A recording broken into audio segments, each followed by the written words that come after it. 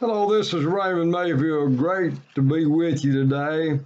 How would you like to be on a big boat floating, floating on waters and animals of all kinds and and uh, your family and everyone's all gathered together there and they're going to be up there for a long time until the rain season they can get. Now, I'm in Genesis chapter 7 today.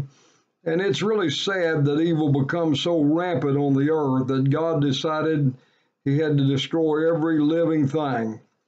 The only ones that were spared were Noah and his family and the pairs of birds and animals. And the Bible does tell us that Noah found grace in the eyes of the Lord.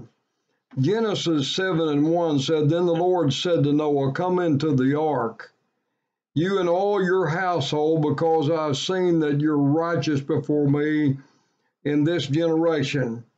And then it goes on to say that God said, You shall take with you uh, seven each of every clean animal. That word seven is an interesting number. God uses that word seven all throughout the Bible.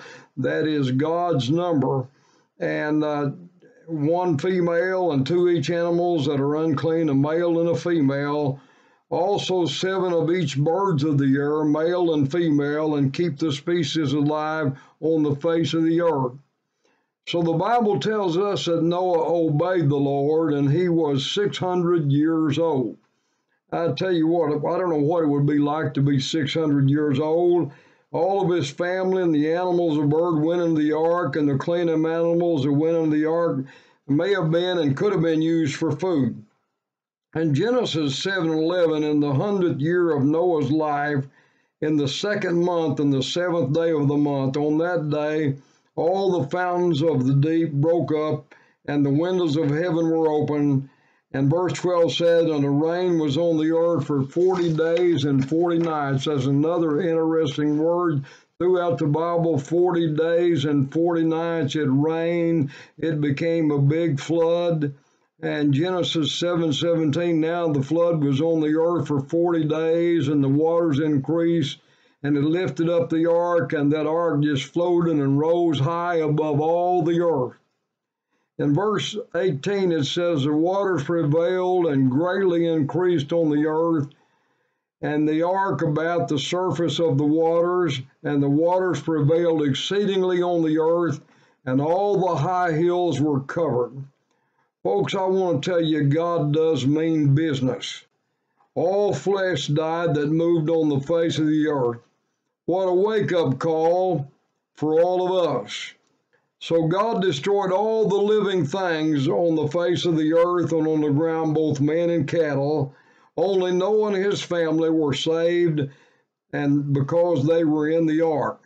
And folks, I want to tell you today, you and I need to be in the ark today, and that is we need to be saved and we know to know God if we're going to make it to heaven. It's about time God is going to call his people home and we need to be ready.